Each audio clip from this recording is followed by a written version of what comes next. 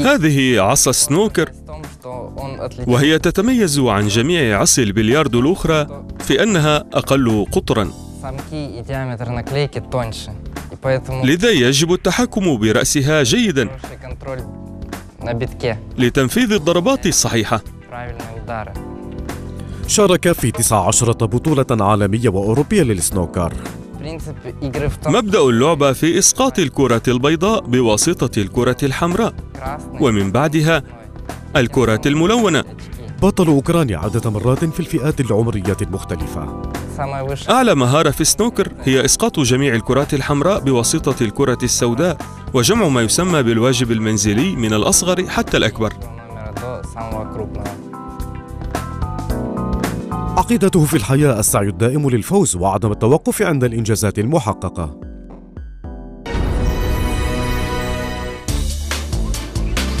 السنوكر هو من ألعاب البلياردو وابتكر في القرن التاسع عشر وهو نوع متميز من الرياضة يتطلب الدقة العالية واللياقة الذهنية والتفكير الاستراتيجي. بطل حلقتنا اليوم ابن الاثني عشر ربيعا يوليان بويكو الذي تعرف على السنوكر بمحض الصدفة عندما كان في الخامسة من عمره. شاهدت سنوكر على قناة يوروسبورت وطلبت من والدي أن يصطحبني إلى نادي البلياردو. هكذا بدأ مشواري مع هذه الرياضة. ما الذي أعجبه في هذه اللعبة؟ يبقى لغزا بالنسبة لنا حتى اليوم. ربما الكرات الصغيرة أو ربما صوت المذيع الذي سحره ولكن بعد ذهابه إلى المدرسة قال خذني يا أبي لألعب سنوكر. ولقد صدمت بالفعل حينها. играть в снукер. Для меня это было, конечно, шоком. Лично я, ну, в принципе, позитивно я отнеслась к نظرت أنا شخصيا بإيجابية إلى اختيار يوليان فلقد كان قبل ذلك يلعب كرة المضرب وكرة القدم ولقد كان مهتما بالرياضة أنا وزوجي اتفقنا على تشجيع هواية أطفالنا Такое правило поддерживать э, увлечение детей.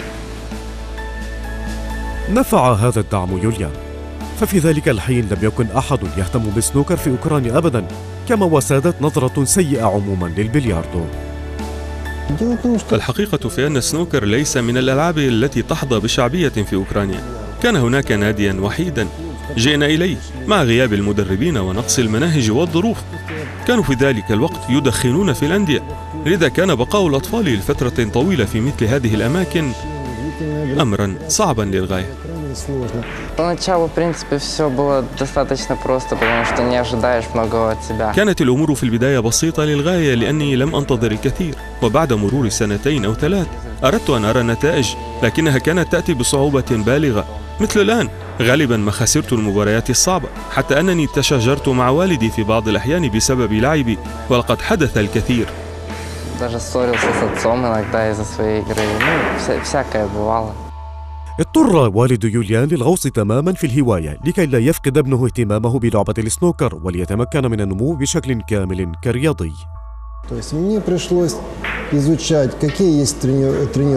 توجب علي تعلم التدريبات الموجودة والبحث عن المتربين وتنظيم البطولات والبحث عن من يشاطرني هذه الأفكار لأساعد يوليان على أن يتطور. كان الأمر صعبا جدا ومتعبا ومع ذلك بدأنا هذه العملية مع الأسرة. لدينا اليوم اتحاد ولدينا البطولات الكبيرة والإنجازات الموجودة عند يوليان.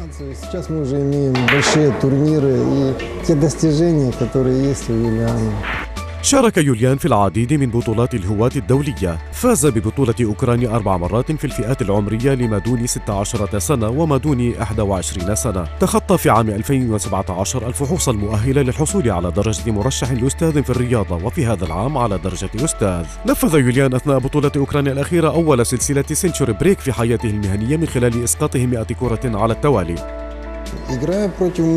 في لعبته ضد أستاذ في هذه الرياضة جمع يوليان 123 نقطة متتالية.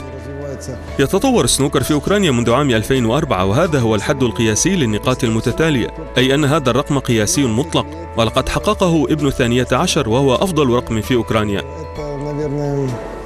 показатель. В принципе, у всех молодых игроков يتميز جميع اللاعبين الشبان عموما بالأسلوب الهجومي أي أنهم يهون استهداف الكرات الصعبة جدا وتنفيذ بعض التكتيكات غير العادية أما اللاعبون الأكبر سنا فيفضلون الأسلوب المدروس ويحاولون الفوز باللعبة بفضل مهاراتهم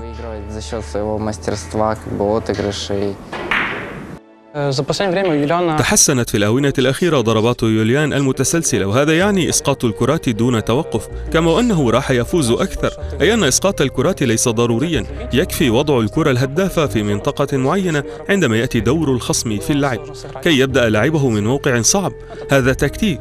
لذا يدرس يوليان اللعبة بشكل أفضل وصار يفوز أكثر وأكثر.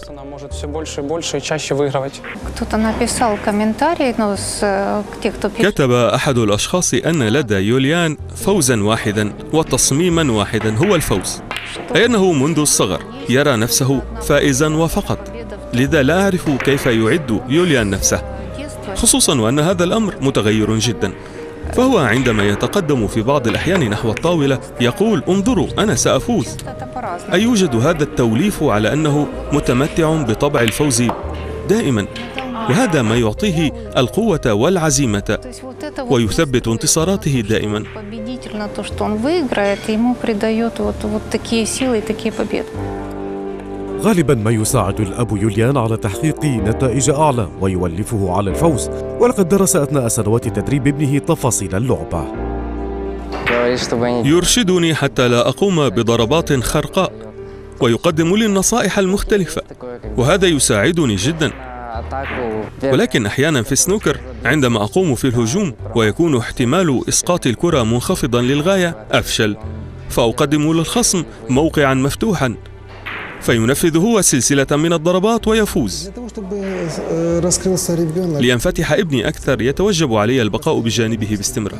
أنا أرى دوري هذا كالظل الموجود بجواره الذي يحميه ويؤازره فيمهد له مكان الراحة حينا ويدفعه من الخلف حينا آخر. حلمه أن يصبح بطل العالم في لعبة السنوكر وهو يتطور الآن بشكل ديناميكي وها نحن نقترب من بطولات المحترفين.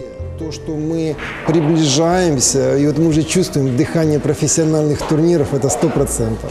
بالرغم من ولعه الكبير بالسنوكر نادرا ما يحمل والد يوليان عصا البلياردو في يده Я не играю в снукер, потому что я э, играл только أنا لا ألعب السنوكر и то только لقد لعبت بضعة مرات فقط في تلك الدورات التي شارك فيها يوليان وشاهدته يبكي بعد الخسارة أردته أن يفوز وقلت فلتكن هذه الانتصارات الأولى علي على أبيه. بدأ يفوز علي وراح يتقدم ومن ثم فاز على الآخرين. هذه هي اللحظات الوحيدة التي جعلتني ألعب سنوكر. كان هذا على مدى أربعة أو خمس بطولات لا أكثر. لدي إنجاز التعبير ثلاثة مدربين وهم والدي وأندري شولها وسيرهي إيساينكو. كل منهم يساهم في تدريبي وتطوري. لست أدري ربما والدي يعمل أكثر بوصفه خبيرا بعلم النفس. وسيرهي مرشدا في اللعبة وأندري مختصا في التقنية. يفعلون كل ما بوسعهم كي أتطور وهذا لطيف حقا. لا يشارك يوليان اليوم بنجاح في البطولات المختلفة فقط بل ويعمل على الترويج للسنوكر في أوكرانيا محطما النظرة التقليدية. عندما بدأنا ممارسة السنوكر للأسف كانوا يسألون يوليان ماذا تلعب.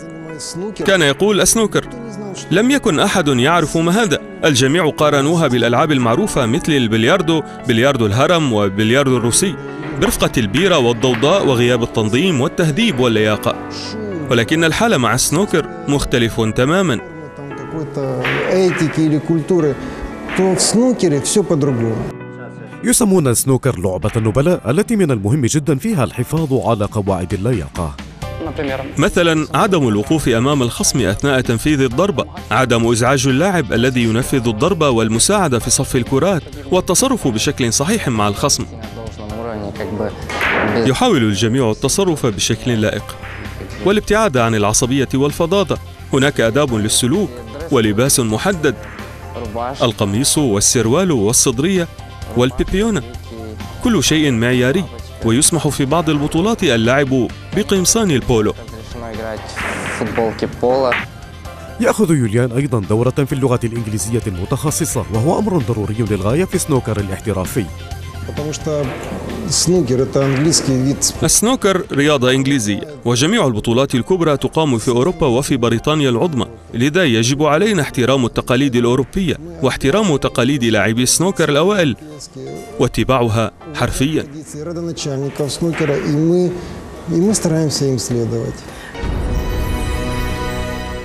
كرس الرياضي الفتي نفسه اليوم بالكامل للسنوكر يتدرب لمدة سبع أو ثمان ساعات في اليوم ويمارس كرة المضرب أيضا للحصول على إعداد بدني جيد. هو موهوب حقا يمكنه التدرب طوال اليوم وأعتقد أنه مستعد لقضاء أي قدر من الوقت ما دام لم يستطع القيام بأمر ما سيعيد تنفيذه دائما حتى يستطيع فعله. صار يوليان يحصل دراسته عن بعد.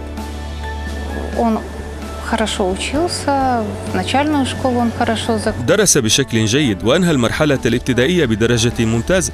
ولكننا نعي أن التدريبات تتطلب كثيرا من الوقت. ساعدناه بعض الشيء ولكنه سافر كثيرا للمشاركة في البطولات في الخارج هذا العام. كانت البطولات في أوروبا بشكل أساس. بقي شهرا في أكاديمية السنوكر في شيفيلد في إنجلترا فاضطررنا إلى نقله للتعلم عن بعد. وسنساعده في ذلك دائما. да, поэтому нам пришлось перевести его на дистанционное обучение. Но мы ему помогаем. Я учусь дома, сдаю экзамен. أنا أدرس في المنزل وأقدم الامتحانات ويجب علي أن أدرس ويجب علي أن أعمل ولكن كم الواجبات أقل بكثير مما هي عليه في المدرسة ولم أجد حتى الآن أي سلبيات في ذلك وجدت الإيجابيات فقط لأن لدي كثير من الوقت لأتدرب ليس للتدريب فقط بل ولمتابعة البطولات أيضا من أجل درس لعبة اللاعبين المشهورين. حتى أن يوليان تعرف في أكاديمية سنوكر الإنجليزية على نجمه المحبوب لاعب سنوكر مارك سيلبي. حصلت على توقيعه. حتى أنني لعبت معه شوطا واحدا غمرتني مشاعر لا تنسى. أنا أحترم مارك سيلبي. يوجد عند يوليان هدف ويحاول في هذه المرحلة من حياته المهنية تكريس أكبر قدر ممكن من الوقت للسنوكر ولا ينوي الرياضي الفتي ترك عمله المحبب. أريد أن أصبح لاعبا بارزا выдающимся игроком, но даже وإن لم أنجح في ذلك أفكر أن أصبح مدربا رائدا أي أن حياتي في جميع الأحوال مرتبطة بالسنوكر то есть по-любому жизнь будет связана со снукером, как ни крути. Наша задача это то, чтобы он был счастливым. А, مهمتنا أن يكون سعيدا ويبدو لي أنه سيتابع مساره الرياضي спортивность. لأن هناك بعض الميول في شخصية يوليان وهي الرغبة في تحقيق الهدف المنشود Кирилл Юлиан واعتقد انه حدد هدفه منذ وقت بعيد وهو الاسمى واظن انه سيحققه Цели, я думаю, у него давно поставлены. Они самые высокие, поэтому я думаю, что так и будет.